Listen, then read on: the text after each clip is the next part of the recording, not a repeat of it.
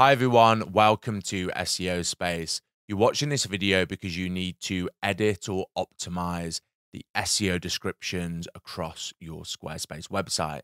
So in this video, I'm going to walk you through what SEO descriptions are, the SEO best practices that you need to be following, and then also how to edit your SEO descriptions on your Squarespace website.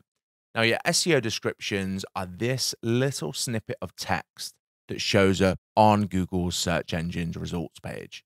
And your SEO description is really important because it not only helps communicate to Google what you want to rank for on search engines. So, for example, here I want to rank for Squarespace SEO plugin. So, my SEO description is really important to show up for those search terms that my target customers are searching and vice versa for you. But your SEO description is really important as well because it's part of your shop window when your target customers search something on Google, they're going to see all these different results. And your SEO description is going to play a part on whether they click on your website or not. So you not only want to make sure that it follows SEO best practices, but you also want to make sure that it's captivating for people to click on. Now, in general, I always recommend that your SEO title is between 150 and 160 characters long.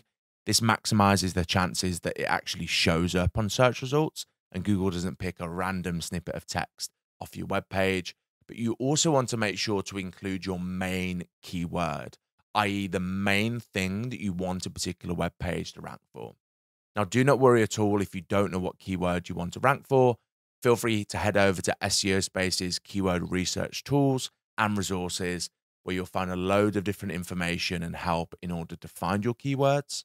However, now you know what an SEO description is and the best practices that you need to follow. What I want you to do is head over to the Squarespace dashboard.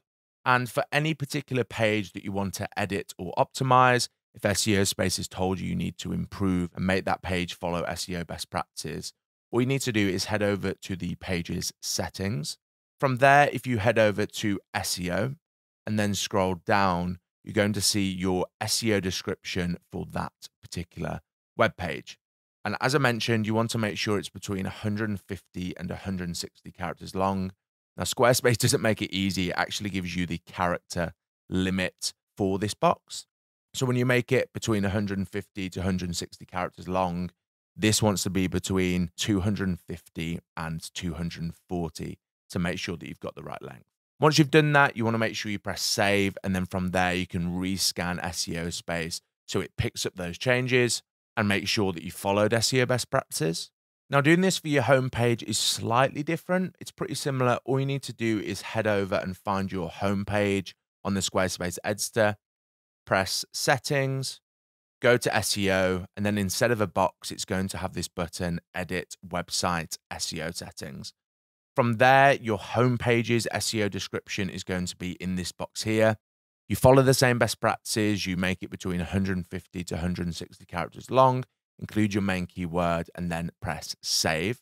Now, sometimes, even when you do this, even when you follow SEO best practices, as I've already mentioned, Google can sometimes just pick any random text off a web page and display that as your SEO description. If that is happening, you can do one of the three following things.